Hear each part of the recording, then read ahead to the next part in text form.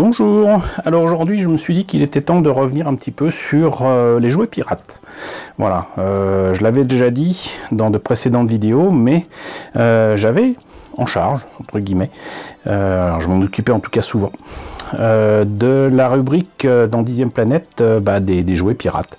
Voilà, des jouets qui étaient bah, ce qu'on appelle souvent des KO, c'est-à-dire qu'en anglais c'est knock-off, je pense pas que je le dise correctement, euh, mais donc tout simplement des, jouets pirates. Et euh, on en a eu quand même un bon paquet en France, des jouets pirates, euh, souvent en provenance de Corée, souvent en provenance de Chine, de Thaïlande, que sais-je.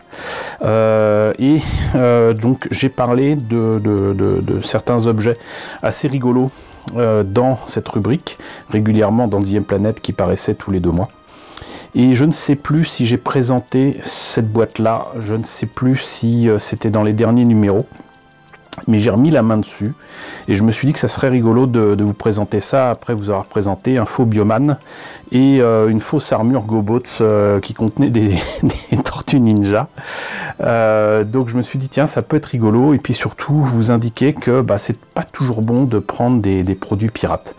là il s'agit très clairement d'un produit pirate qui reprend un jouet Transformers, donc un jouet Hasbro et Takara et qui est un mélange déjà de toute façon euh, de deux, euh, comment dirais-je, combiners, puisqu'on y retrouve très clairement donc un camion qui est normalement supposé former Bruticus avec d'autres éléments, euh, je crois qu'il y a une Jeep, une navette spatiale, un tank, des trucs comme ça.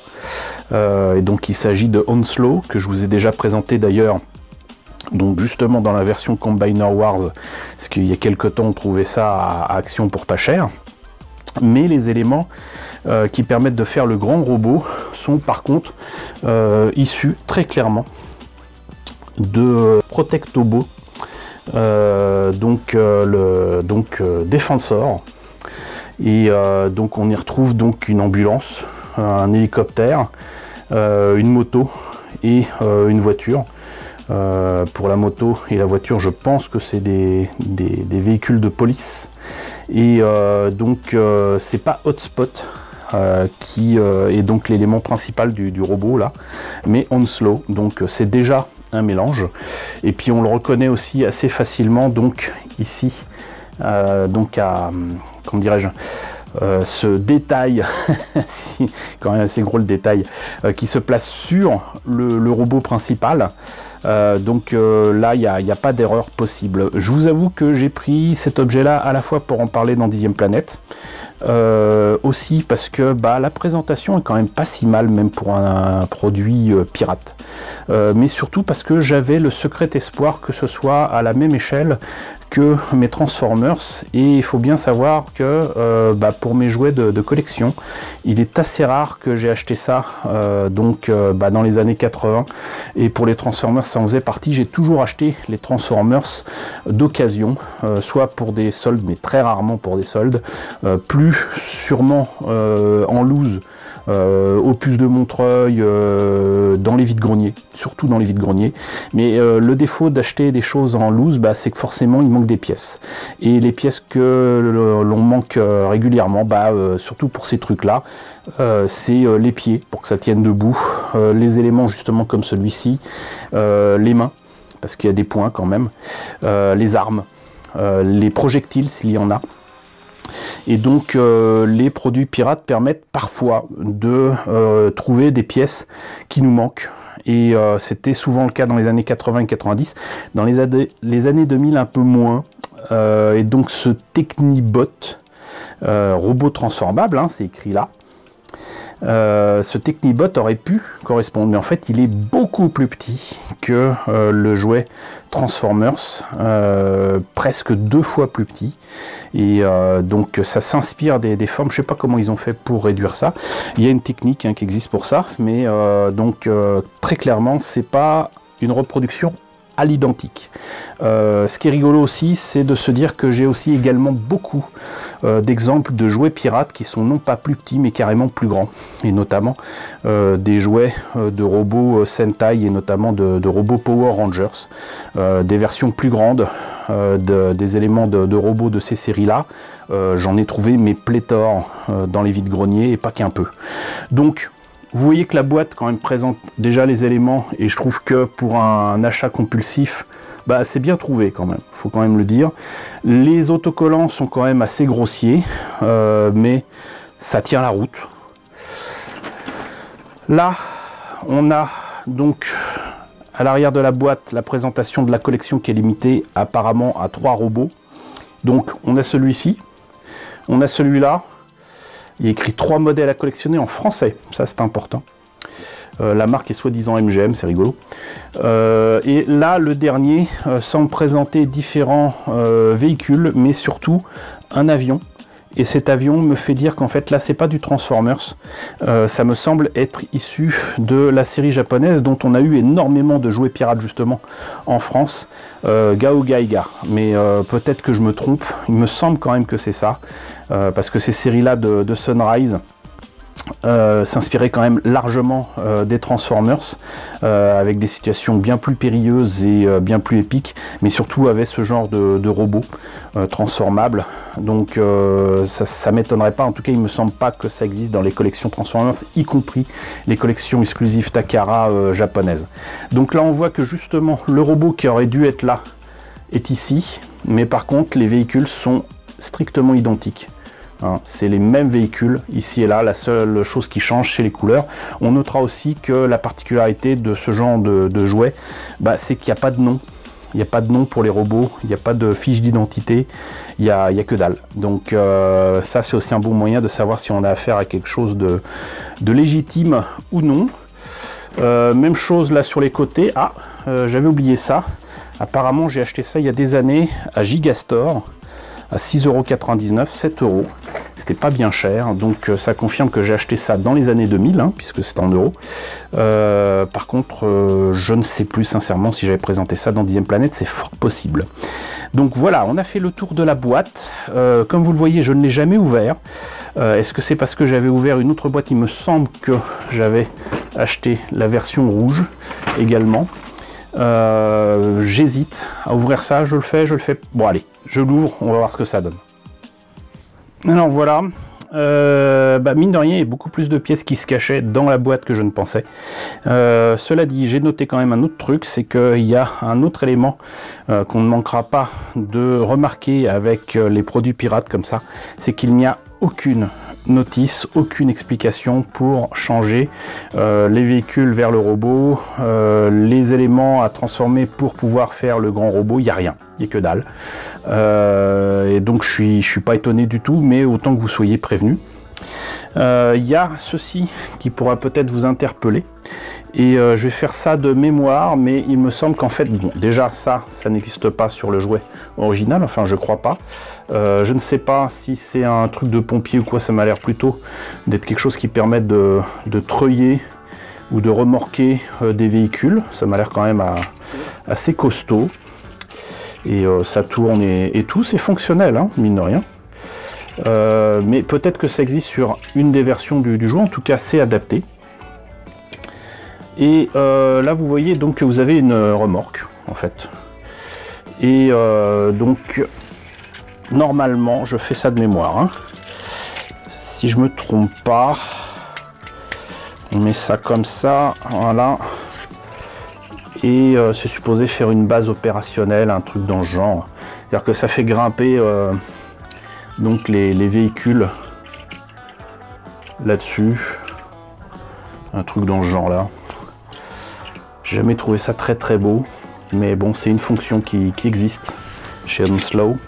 On notera aussi les articulations avec euh, euh, des, vis en métal, mais euh, des vis de, base. quoi. Hein. Ça peut casser à tout moment, le plastique m'a l'air quand même franchement cassant. Et là vous avez des autocollants absolument affreux. Cela dit, des autocollants affreux et des couleurs affreuses, il y en avait aussi dans les collections Transformers, qu'il faut quand même pas se leurrer.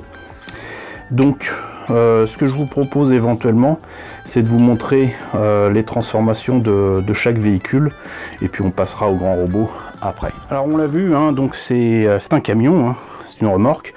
Si on met les jambes, les futures jambes comme ça, on peut mettre cet élément là ici qui encore une fois peut faire grimper les voitures dessus. Donc ça c'est une fonction assez rigolote.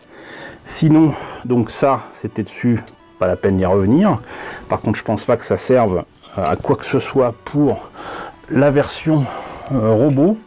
Donc la transformation, si je me rappelle bien, est assez simple. Hein, normalement, on fait comme ça. Si je me rappelle bien, on fait ça. Alors j'ai peur de, casser les pièces. Bah, D'ailleurs là, je viens de passer, casser un petit bout de, plastique. C'est surtout des autocollants qui tiennent pas. Normalement, les bras c'est ici. Voilà. Et on a les mains qui sortent ici. L'autre particularité aussi des, jouets pirates, c'est que souvent vous avez des pièces qui sont euh, un peu creuses. C'est comme s'il y avait des creux dedans. Ça a été mal fini. Mais le, plastique est vraiment euh, très cassant, quoi. Mais sinon, on a donc un Hanslow plus petit que la normale. Et là, vous voyez, les autocollants tiennent à peine. Voilà, il était neuf, hein. c'est pas un truc que j'ai trouvé dehors ou quoi, c'était encore sous plastique, je l'avais pas ouvert euh, depuis toutes ces années où je l'ai acheté, donc il est neuf. Voilà, c'est-à-dire qu'à peine ouvert, votre môme, eh ben, il a déjà des autocollants qui, qui se barrent. Voilà. Donc ça, c'était pour la remorque. Alors, pour la voiture de police, bon, alors déjà, je constate que les roues ne roulent pas vraiment. Euh, c'est vissé, mais ça ne roule pas. Euh, pour la transformation, normalement, elle est aussi très simple. Vous voyez que là, on a donc la tête ici. Et j'essaye de sortir les bras. Voilà, si je le faisais correctement. Et normalement, on est bon. Bah écoutez, c'est quand même assez décevant. Voilà, le robot est transformé. Euh, les, jambes peuvent pas bouger. Euh, voilà, enfin, de toute façon, il est fait pour euh, faire un des bras, si je me rappelle bien. Donc, faut pas, faut pas en attendre grand chose. Est-ce que par contre, du coup, ce morceau de plastique va se mettre comme ça Normalement, là on est bon. Comment ils font pour en mettre ensuite la, main? Je ne sais pas. Bon, bah écoutez, on va voir euh, l'autre véhicule. Alors l'ambulance, elle semble euh, vouloir rouler. Ça roule effectivement. Alors, qu'est-ce qu'il en est pour la transformation A priori, la tête est là. Donc, on va certainement devoir tirer là-dessus faire ça. Les bras sont ici. Et voilà, vous avez votre robot euh, Youpi Tralala. La moto. Alors, euh, les roues semblent tourner, mais enfin, faut le dire vite. Pour la transformation, purée, j'ai vraiment peur de tout casser. Les bras m'ont l'air d'être là. Ici, on a un semblant de tête. Bon bah écoutez, euh, j'ai l'impression qu'en fait c'est ça. C'est vraiment très moche. Alors l'hélicoptère, bah pareil. Hein. Euh, à mon avis ça va pas ressembler à grand chose, bah voilà. Je sais pas si ça sert à grand chose aussi que je le transforme. Et voilà. C'est extrêmement laid et c'est fini. Donc on va passer à la version du grand robot là. Bon bah alors pas de surprise, c'est extrêmement fragile, ça ne tient pas, cela dit, faut être honnête, même avec le jouet original, c'était fragile, ça ne tenait pas, mais pas à ce point-là. Euh, là, très clairement, le truc, une fois sorti de la boîte, il ne vaut plus rien. Je commence à regretter d'avoir de l'avoir sorti de là. Euh, il y a des armes je pense en fait que ça ne peut aller qu'avec euh, les robots entre guillemets et les véhicules séparés quoi. Pareil pour ceci. Il y avait une grosse arme que j'ai pu mettre dans le dos.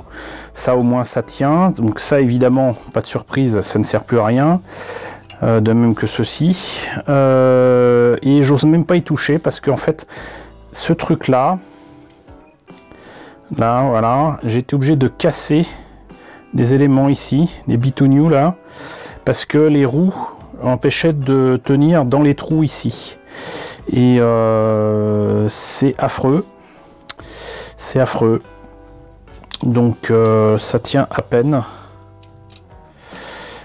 Et voilà, vous voyez, je suis obligé de forcer pour que ça tienne. Aucune des armes ici ne tient dans les mains qui sont là. Euh, si je le manipule, il va tomber en morceaux. c'est vraiment pas la peine de, de, le transformer. Et on est loin, très très loin de l'image qu'on a là, ici, ça n'a strictement rien à voir. Donc euh, voilà, c'est en fait c'était bien plus beau dans la boîte que sorti de la boîte. Et comme je le disais, de toute façon, c'est pas la bonne taille. Donc euh, voilà. Bon bah écoutez, euh, je suis désolé hein, de finir sur cette note extrêmement négative, mais ça reste du jouet pirate, donc faut pas s'attendre non plus à, à des miracles. Voilà, en tout cas, c'était donc le Technibot, euh, le robot transformable avec une boîte euh, française que j'ai acheté il y a des années à Gigastore à 7 euros. Euh, l'expérience est douloureuse. J'espère en tout cas que vous aurez appris quelque chose. Si vous trouvez les morceaux, en tout cas, vous saurez pourquoi vous trouvez des robots qui semblent être du Transformers et qui sont en fait des jouets pirates. Hein. Ça peut arriver qu'on tombe là-dessus. Ça arrive même assez souvent. Donc euh, voilà, j'espère quand même que ça vous a intéressé. N'hésitez pas à me dire ce qu'il en est dans la section commentaires. Peut-être euh, en avez-vous trouvé vous-même de votre côté. N'hésitez pas à liker, n'hésitez pas à partager, n'hésitez pas à vous abonner si ce n'est pas déjà le cas. Coucou aux nombreux abonnés qui nous ont rejoints ces derniers temps. Bienvenue ici. Coucou aux grands anciens qui nous suivent depuis plus de 4 ans. Merci à tous de votre fidélité, merci à tous de votre soutien sur Tipeee et sur PayPal. Je vous laisse avec la liste des contributeurs de la chaîne. Surtout prenez soin de vous et à très bientôt, j'espère, pour la présentation de nouveaux jouets pirates.